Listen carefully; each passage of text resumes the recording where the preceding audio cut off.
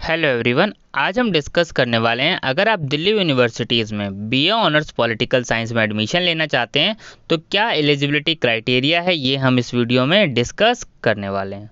तो देखिए यहाँ पे programme specific eligibility B honours political science ध्यान रखना आपको जो कॉम्बिनेशन दिया हुआ है दिल्ली यूनिवर्सिटीज़ में, आपको इसी कॉम्बिनेशन के लिए अकॉर्डिंग एग्ज़ाम में अपियर होना है। सबसे पहला कॉम्बिनेशन एनी वन लैंग्वेज आपको ये पूरा कॉम्बिनेशन फुलफिल करना है। यानी आपको एक लैंग्वेज सेलेक्ट करनी है लिस्ट ए से।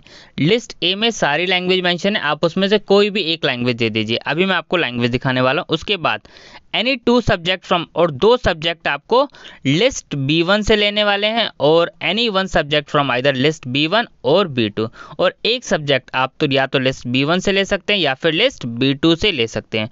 तो यानी आपको टोटल फोर सब्जेक्ट्स में अपियर होना है, तब आप बी ऑनर्स पॉलिटिकल साइंस का एंट्रेंस टेस्ट दे सकते हैं। चलिए मैं आपको लिस्ट दिखाता हूँ ताकि आपको ईजिली समझ आ जाए कि मतलब list B one list A ये है क्या।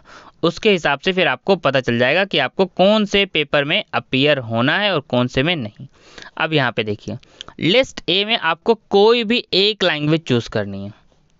कोई भी एक लैंग्वेज आपको चूज़ करनी है, हिंदी इटालियन अरबिक गुजराती, मणिपुरी, मराठी। आप इसमें से कोई सी भी एक लैंग्वेज चूज़ कर लीजिए। पहला तो आपको ये करना है। सेकेंड फ़र्स्ट ये चूज़ कर लिया। उसके बाद आपको पहला लैंग्वेज चूज़ कर लिया। और उसके बाद आपको क्या करना है?